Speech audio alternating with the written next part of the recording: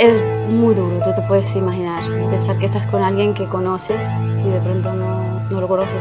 Tres o cuatro años que no nos siguen nunca. A partir de ahí, nunca más. Fue en el Mundial de Sudáfrica 2010 cuando se dio el flechazo entre la cantante colombiana Shakira y el futbolista Piqué. Desde entonces la pareja ha protagonizado uno de los romances más mediáticos del mundo de la farándula. Ella por ser una de las artistas con mayor influencia a nivel mundial y él por su exitosa trayectoria como futbolista. Tristemente parece que las cosas ahora sí ya cambiaron por completo. Ahora se está asegurando que Shakira encontró a Piqué con otra mujer. Diversos medios españoles han difundido que Gerard Piqué regresó a vivir a su casa de la calle Montaner donde él residía cuando estaba soltero. Fuentes afirman que han visto al futbolista entrar y salir de este edificio en más de una ocasión. Al parecer, él ya no está viviendo en su casa con Shakira y sus hijos. A esto se le suma que medios españoles captaron a Piqué disfrutando en un centro nocturno en Barcelona.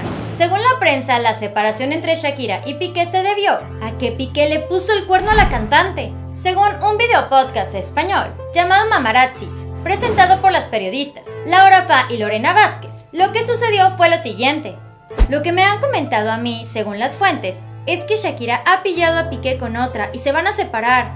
Me dicen esto. Eso es así, sí ha ocurrido, por eso hay distancia entre los dos. A esto se le suma el hecho de que Shakira no ha publicado nada de Piqué desde el pasado 13 de marzo. Además la prensa también menciona que Shakira le dedicó su última canción a Piqué, la cual se titula Te felicito. Parte de esta canción dice así, por completarte me en pedazos, me lo advirtieron pero no hice caso. Me di cuenta que lo tuyo es falso, fue la gota que rebasó el vaso. No me digas que lo sientes, eso parece sincero, pero te conozco bien y sé que mientes. Te felicito, qué bien actúas. De eso no me cabe duda. Con tu papel continúa, te queda bien ese show.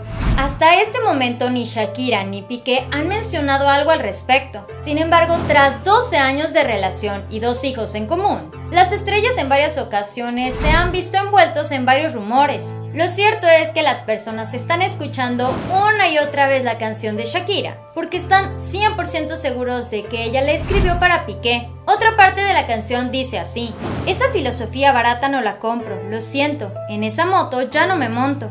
La gente de dos caras no la soporto.